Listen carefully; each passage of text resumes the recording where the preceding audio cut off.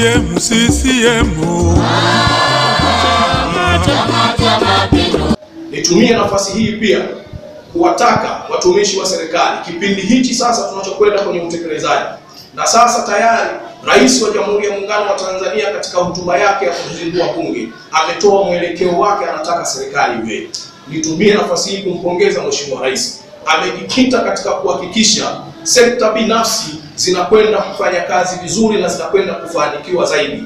Ukiangalia mwelekeo wake amegusa sana kuonyesha sasa tunataka twende katika mwelekeo wa kutengeneza au mwelekeo wa kuwa na kilimo cha kibiashara. Kwa hiyo nitumie nafasi hii kuwataka wananchi wote tutumie vizuri mvua hizi zinazonyesha kuweza kwenda kulima mazao yetu vizuri, lakini pia ni watake watumishi wa serikali wa sekta ya kilimo, huu sio wakati wa kuendelea kukaa maofisini, watoke kwenda kushirikiana na jamii huko, kwenda kuwaelimisha na kuwasaidia jinsi gani ya kuweza kupata mazao yaliyo bora, mazao gani yanapaswa kulima katika ardhi ya mashamba yao, na ni jinsi gani ambavyo wanaweza wakaanza kuzitumia mvua hizi kwa sasa. Huu ni wakati wa kuanza kazi na kazi hii inaanza sasa kwa ushirikiano kati ya jamii, chama na serikali, na tunaamini kwa pamoja tunaweza.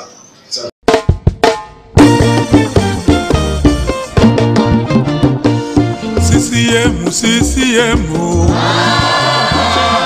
Chama cha Mapinduzi CCM